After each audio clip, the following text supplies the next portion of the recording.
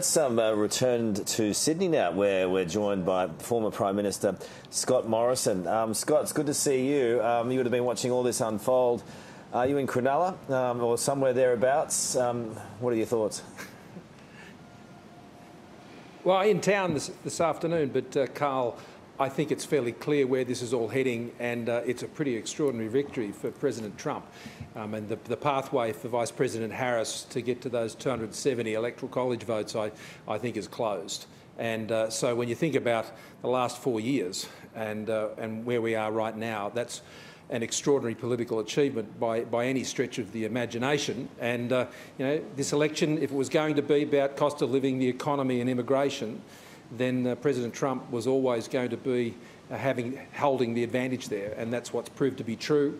And uh, when you add to that a, a poor re-elect on the Biden administration and a right-wrong direction heading in the wrong direction for the for the Biden administration, then you know it's played out based on what the numbers were saying. Right, Charles? Uh, yeah, Scott, it's Charles Croucher here. I'm interested in your opinion of what happens now with the Trump administration, in particular with the role Mike Pompeo may play. I know he's someone you're close with and have worked with, and, and someone who could be really important for Australia moving forward. Well, there's a number of them. Uh, I mean, Mike's one. Uh, Robert O'Brien is another, um, who I worked together with at, at, American Global Strategies, who was his national security advisor there could be quite a few people going back into the administration. That said, I mean, what Mike Pompeo has particularly been saying about Ukraine, I think, is especially important.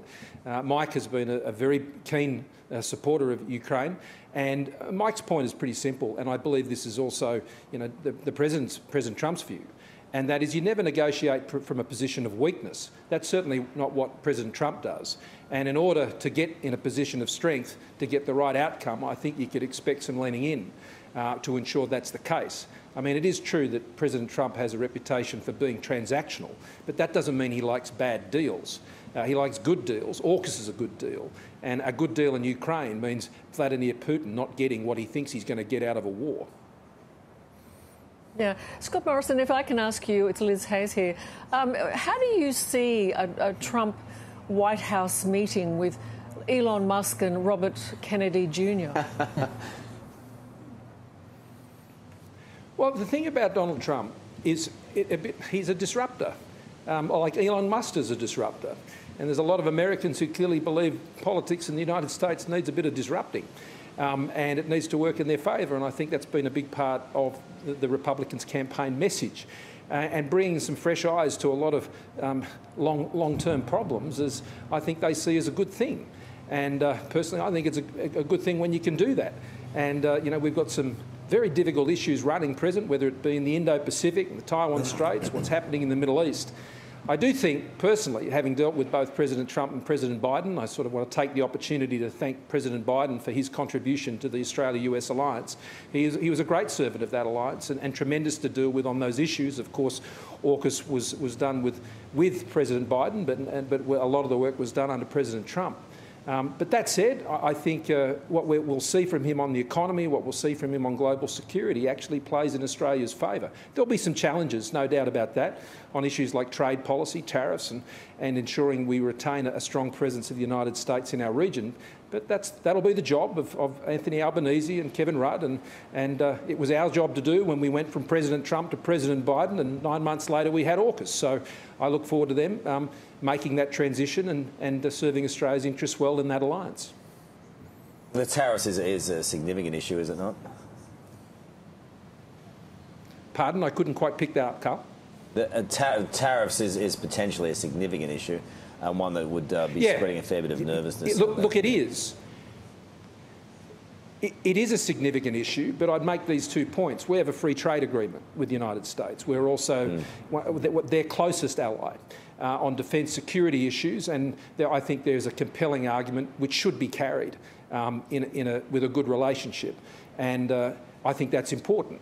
Um, but we also got to remember what one of his tasks is, and that is to rebuild the US's industrial base and its defence industrial base, which has withered away after 30 years of globalisation and all that manufacturing capacity heading across to China. Now, he knows that. Americans know that. It's basically a bipartisan position between the Democrats and the Republicans. His answer to that is tariffs. We'll see how that goes, as he'd say. He would often say in conversations, let's just see what happens. Um, and we need to make sure, from Australia's point of view, and Ambassador Rudd, Kevin, and, uh, and the Prime Minister um, have They've got a job to do to make sure Australia makes its case strongly and firmly in the spirit of a very, very good relationship. He might have a better relationship with Australia than the other half of the uh, nation that he may rule again. I mean, is he very good at bringing people together?